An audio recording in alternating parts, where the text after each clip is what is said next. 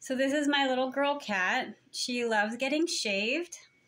And uh, the other day when I gave her a little bear cut, or a little lion cut actually, uh, I noticed she had ringworm. So I don't know if she's gonna let me show you or not, but let's see if I can if I can show you what it looks like. She started going bald right here. You can see. I don't know. She's not don't want to do this, but I think you might have seen it real fast. Come here, bud.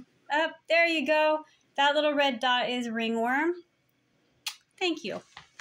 And uh, so I'm not big on meds, and I know a lot about ringworm from having had it and getting it from cats. And uh, I can't take the meds for the antifungals because they're too hard on my liver. So I use GSE.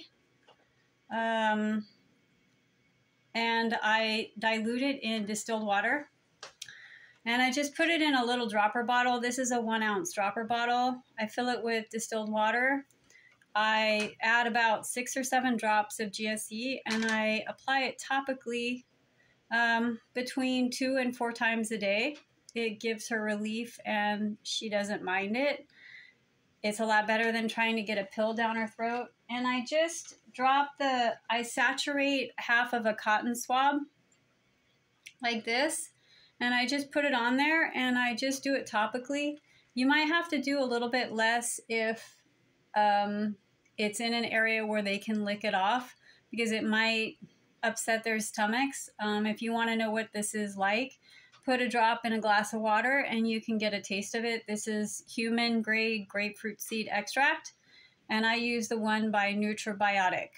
And you just keep doing it and doing it and doing it until the hair begins to grow back, and it'll take about six to eight weeks. And as a last note, uh, I am not a veterinarian. Uh, please seek veterinarian health. This is not advice for your animal. It's just a suggestion, and it's just me sharing what I do myself for my cats if they get ringworm. Thanks.